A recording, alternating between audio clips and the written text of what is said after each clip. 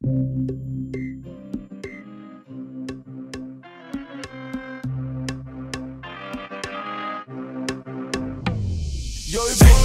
skupo piće na sred stola Ama goriš mi do bola, trebam paracetamola Istrepat ću te cijelu ko da si od glina mola. Oblika si ko kola, ja sa džekom miješam pola.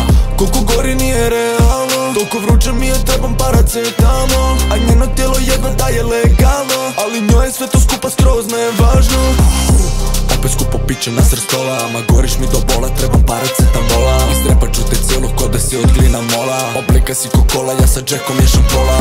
Koliko gori nije realno Toliko vruće mi je, trebam paracetamol A njeno tijelo jedva da je legalno Ali njoj je sve to skupa skroz nevažno Puno pušim ko da sam kubanac. Dupe masno volim vidit ko amerikanac. Volim kad si malo tamni ako da sam afrikanac. Alkohol mi toči jer sam jebeni balkanac. Ej, U glavu joj ulazim kao haker. Šalje poruku pita da li ima after. Sviđa joj se moj drip, fiti moje Nike.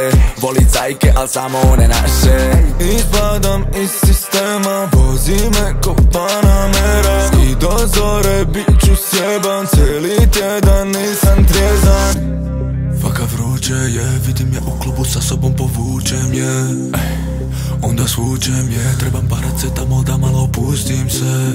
Nove curije sa guzice Potrgali smo gumbiće sa bluzice.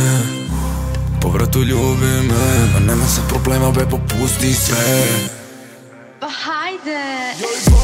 Opet skupo piće na sred stola Ama goriš mi do bola, trebam paracetamola ko da si od glina mola. Oblika si ko kola, ja sa džekom miješam pola.